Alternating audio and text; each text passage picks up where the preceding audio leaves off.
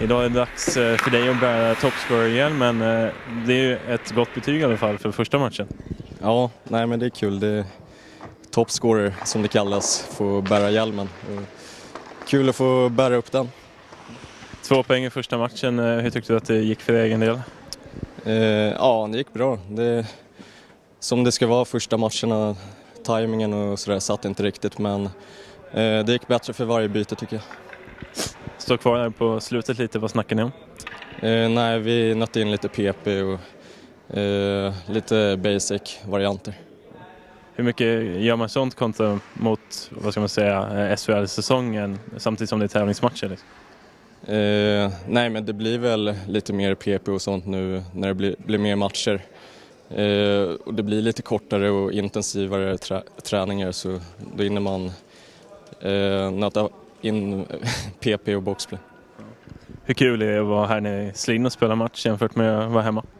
Det är jättekul. Kul att se Slinn. Eh, annorlunda stad, men kul att se. Kör hårt ikväll. Tack.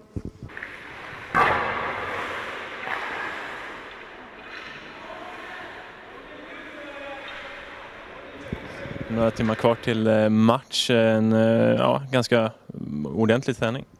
Ja, vi eh, tränade ju inte igår så vi körde lite tuffare idag inför matchen men eh, det ser bra ut, de såg pigga ut så att, eh, känns bra.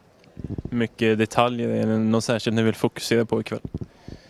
Ja, Det är väl egentligen det vi pratar om hela tiden, att vi utför våra grunder rätt och riktigt så har vi en chans att bygga vidare på, på det spelet vi har så att det är väl mest det vi, vi pratar om hela tiden nu på försäsongen.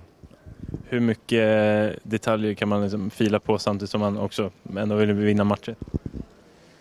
Ja, alltså, det egentligen handlar det ju om detaljer i slutändan, hur bra man utför saker och ting och hur konsekvent man är i det och eh, det är väl där vi landar hela tiden, att ja, göra det vi pratar om så bra som möjligt och därför är de här matcherna kan man säga ett kvitto på vad vi står för, för, för tillfället så att vi hela tiden vet hur vi ska bygga vidare på, på saker och ting. Men det känns bra och eh, vi är förhoppningsfulla inför kvällen.